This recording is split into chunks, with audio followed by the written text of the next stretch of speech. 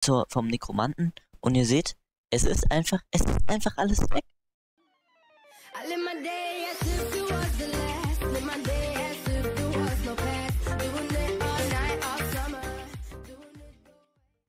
Und damit herzlich willkommen zu einer Folge auf Skybounds. Endlich hier geht es wieder weiter. Ich habe gesehen, in der letzten Woche kam leider kein Video von mir. Ich war erst krank oder halt nicht da. Und an dem einen Tag habe ich dann meine neue Grafikkarte bekommen. Und wenn ihr jetzt mal auf meine FPS guckt, ich spiele jetzt mit stabilen 120 FPS. Das heißt, ich kann mir jetzt auch Texture Packs und Shader reinhauen. Und ich kenne mich da nicht so gut aus. Ich habe als einziges habe ich mir Specs runtergeladen. Wenn ihr irgendwelche Wünsche habt, dann schreibt mir mal in die Kommentare, mit welchem Texture Pack oder Shader ich spielen soll. Dann werden meine Videos äh, demnächst auch nicht mit den Vanilla-Texturen kommen. Also ich finde das auf jeden Fall mega nice, denn 120 FPS davor hatte ich in der Aufnahme so 40, also hat sich schon ein bisschen verbessert. Und jetzt zu den Sachen auf dem Server. Also, ihr habt ja gesehen, äh, jetzt schon im Vorspann, irgendwas ist da komisch. Irgendwas ist da komisch. Und ich kann nicht genau sagen, woran es liegt, aber es war, also nach dem einen Restart, war plötzlich einfach, es war einfach alles weg. Die komplette Insel war komplett gelöscht, also, also komplett weg. Alles. Es war einfach nur zurückgesetzt, also, ja gut. Ich hatte, hatte halt einem Admin geschrieben, äh, oder wartet, ich gehe mal kurz auf die Insel drauf. Ähm. Ah, nee, was mache ich? Was mache ich? Slash ESGO, Insel zur, vom Nekromanten. Und ihr seht, es ist einfach, es ist einfach alles weg. Es ist einfach alles komplett resettet. Es ist nur noch diese Anfangsplattform da, das, was wir hatten. Ich hatte mit so einem Admin geschrieben, die hatten ein Update. Und es ist zwar gewusst, oder sie wussten zwar, dass Daten verloren gegangen sind, sie wussten aber nicht was. Das heißt, ich habe wirklich nur noch das, was in meinem Inventar drin ist. Wir hatten fünf Iron Golem Spawner, zwei Blaze Spawner und von dem ganzen Zeug, was in den Kisten ist, gar nicht zu reden. Also, das waren locker einfach, keine Ahnung, 30 Millionen oder und vor allem die ganze Arbeit, die dahinter steckt. Das ist eigentlich das Eigentliche. Wir hatten auch noch 20 Pick Spawner. Äh, ich habe auch mal den, den ähm, Janni GHG auf die Insel eingeladen. Dem ging es nämlich, ging's nämlich genauso wie mir. Hm, der, der wollte eigentlich nur kurz zum Spawn gehen. Ich weiß nicht genau, was da jetzt das Problem ist. Ich weiß nicht genau, wie wir das jetzt weitermachen wollen oder ob wir überhaupt was weitermachen wollen, denn es ist halt wirklich alles weg. Und ja, ja, warum? Es halt, es kommt ein Update und danach ist alles weg.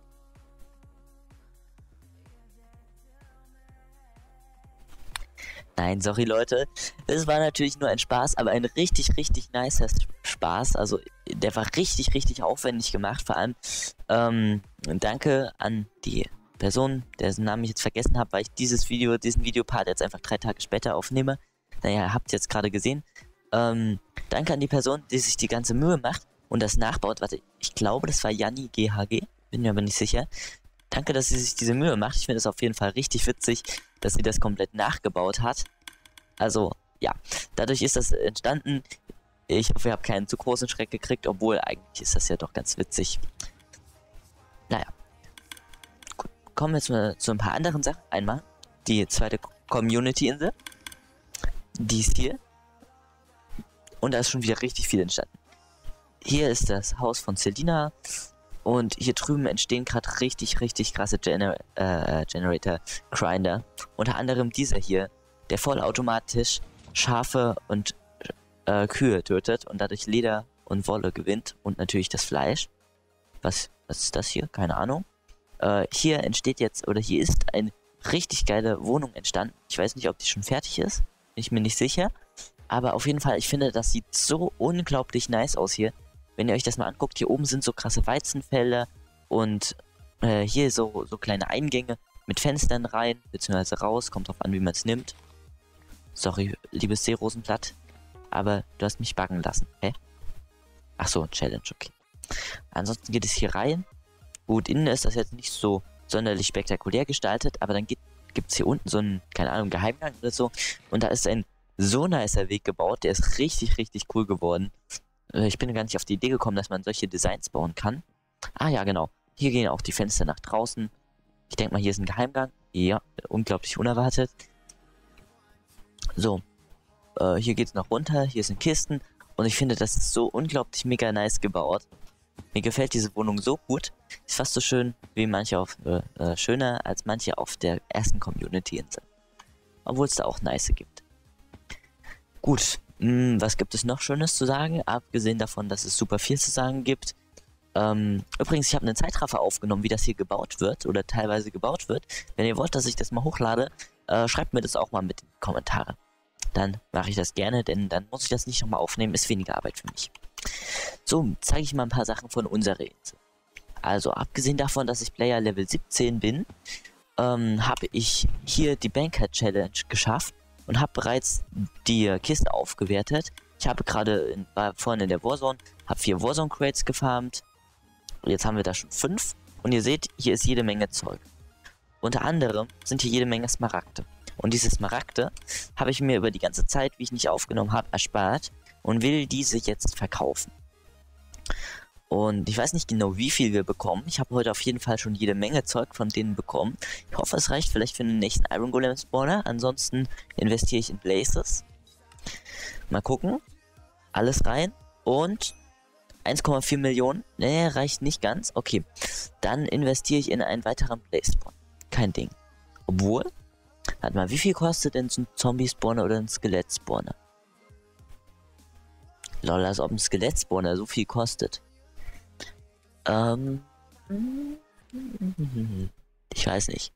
Sollte ich lieber in Skelett-Spawner für XPs investieren und mir dann erstmal drei bis vier Skelett-Spawner gönnen oder erstmal einen Blaze-Spawner? Ah, so viele Entscheidungen. Hm, überlege ich mir mal noch genauer. Auf jeden Fall haben wir jetzt ordentlich was an Geld. 1,4 Millionen bekommen, ja, fast 1,5 Millionen bekommen. Ich gehe wieder auf meine Insel und da gibt es weitere Sachen zu zeigen. Einmal hier oben bei den Grinder, ich wurde nämlich darauf hingewiesen, dass mehr Iron Golems spawnen, wenn vier Blöcke zwischen den äh, Spawnern entfernt ist, sind. Das heißt, ich habe die mal so gebaut, dass das so ist und es spawnen tatsächlich mehr. Also es spawnen jetzt immer mindestens drei Eisengolems und da, manchmal ist halt wirklich nur einer gespawnt. Das ist jetzt besser geworden, finde ich nice. Eine andere Sache, hab, ich habe jetzt hier meinen Kopf.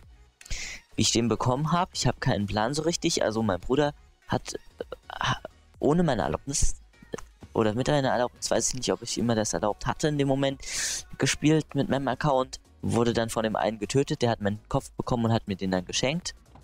Äh, habe ich den jetzt, also, ja, finde ich gut. Habe ich jetzt halt einen Kopf von mir. Ähm, ähm, noch Sachen. Ich habe hier gerade so eine Liste. Ah ja, genau.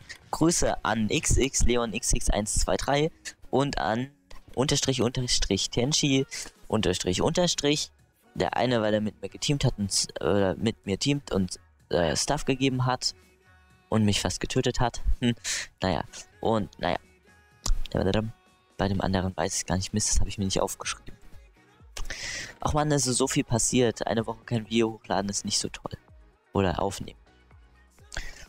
Hm, was könnte ich noch Schönes zeigen? Ich habe OP-Rüstung. Oder relativ OP-Rüstung. Damit kann man jetzt auch mal so in die Warzone gehen. Äh, ich habe hier Verzauberungsbücher für irgendwelche coolen Sachen. Zum Beispiel Rüstung. Hier habe ich noch einen Backstep. Naja, gut, die ist nicht so gut. Dann habe ich eine Axt, die ich mir selbst teilweise zusammengebaut habe. Und ich bin jetzt gerade dabei, so OP-Sachen selbst zusammenzubauen, weil ich auch die Enchanting Challenge geschafft habe habe mir unter anderem eine Effizienz 3, Haltbarkeit 3, Glück 5 und Magic Touch Spitzhacke gemacht. Die ist mindestens 2 bis 3 Millionen wert, also. Die ist so, so OP, wenn man damit mal in die Warzone geht und dort zum Outpost geht, dann bekommt man aus jedem Erz, was man abbaut, immer 6 Stück raus. Und dann gibt es dort insgesamt, ähm, lol. Lol, das ist ein Skydrop. Hm, den gönne ich mir, würde ich sagen.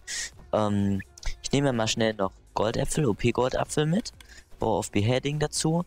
Und jetzt zum Spawn. Und dann klatschen wir mal ein paar Leute. Spawn. Ah, es kommt doch wie gerufen. Das war bestimmt so von irgendwelchen Leuten geplant, die wussten, dass ich jetzt ein Video aufnehme. Dann nehme ich mir mal meine coole Battle Axe. Stell die auf Toss. Das heißt, dass ich sie so werfen kann. Oh, guck mal, das ist die Coco XD.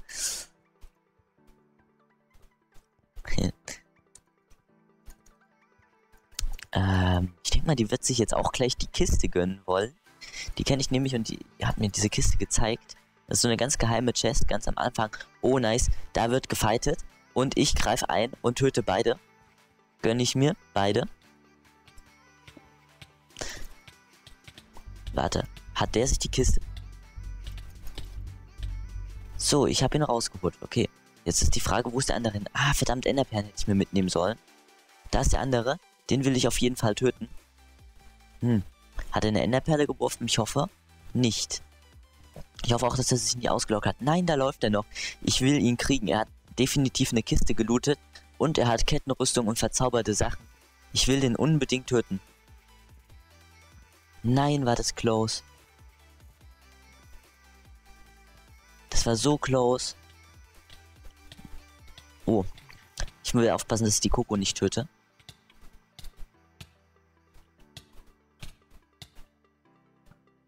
Nein, er hat eine Enderperle geworfen. Die Frage ist, wird die ankommen? Mal gucken. Ich will den Typen töten. Der hat so viel Stuff bekommen oder muss so viel Stuff bekommen haben. Aber ich gucke jetzt erstmal hier auf dieser Insel müsste eigentlich auch noch was sein. Eine Kiste. Ah, war das close. Ich kann nämlich meine Axt werfen und das ist nice. Denn die Axt macht übelst Schaden.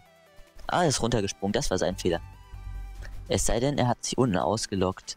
Na, er hat sich einfach unten ausgelockt. Das ist ein ganz mieser Trick, denn dann, wenn man out of combat ist und sich dann in der Luft auslockt, dann spawnt man, wenn man reconnected im Spawn. Das ist so voll unfair. Mal gucken, hat er sich die Kiste genommen? Oh, was ist denn das? Sorry, kleiner Typ, aber ich habe die Challenge, Leute mit dem Bogen zu töten. Das will ich eigentlich gar nicht. Ha, One-Shot. Okay. Ich habe leider keine Kiste gekriegt, weil die sich alle die Kisten genommen haben. Hey, das ist der Cool Boy. Der ist total gemein, deswegen habe ich ihn getötet. Der hat es verdient. So, 4% der Challenge habe ich jetzt geschafft. Wer ist da so? Ich weiß nicht, ich will mit denen eigentlich nicht fighten. Der hat auf jeden Fall auch einen OP-Bogen, habe ich vorhin gesehen. Na gut, dann gehe ich mal wieder zurück. Ich habe leider keinen guten Stuff bekommen. Aber ich bin ins Void gefallen. Äh.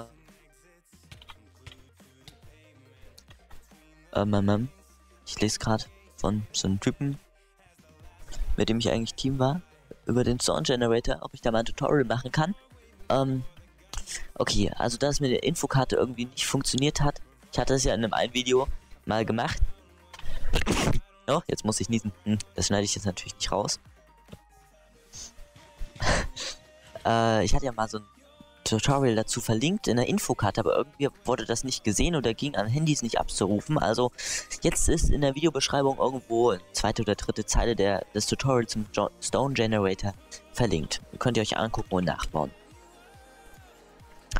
So, ich hatte doch glaube ich noch was für diese Folge geplant. Was war das denn noch? Ach ja, genau. Ich habe ein bisschen was von der Mining World gespielt, habe da jede Menge Stuff bekommen, habe mir so eine Taktik entwickelt und wenn ich die irgendwann perfektioniert habe, also ich habe heute schon fast eine Million bekommen, hätte eigentlich 1,4 Millionen bekommen, wurde dann aber von einem Typen getötet, wo ich nicht weiß, ob das legit war, also der hat auf jeden Fall eine crazy Range. Kann natürlich auch sein, dass er einfach nur geleckt hat, also beziehungsweise hat er auf jeden Fall geleckt. Aber dass er so eine Range hatte, weil er geleckt hat, das ist möglich. Deswegen, naja, ich war mir nicht sicher. Und die Sache, die ich sagen wollte, ich habe hier ein wenig was für ein Opening zusammengespart. Und ich denke mal, dass dieses Opening morgen kommen wird. Ich zusammen mit Piken, ähm, wo ist Pikens Insel? Hier. Und er hat ja auch einen krassen Generator gebaut.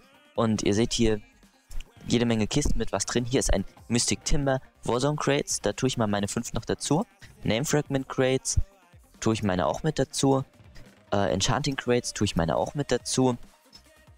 Konfetti kann ich jetzt leider nicht beisteuern. Äh, Burned Treasure, die sind übelst, übelst wertvoll. Da kann zum Beispiel ein Chaos Word rauskommen. Deck of Cards habe ich eins. Ähm, Warseed Boxes. Ancient Runes. Damit haben wir jetzt schon wieder 40 von denen. Legendary Relicts.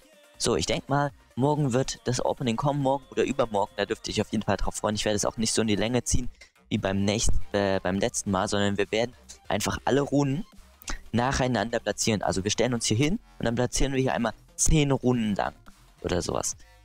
Und ja, spannend wird es dann halt bei den Sachen wie Immortal Stones oder die Burn Treasure. Die Burn Treasure, die wird so cool. Ich freue mich da übelst drauf.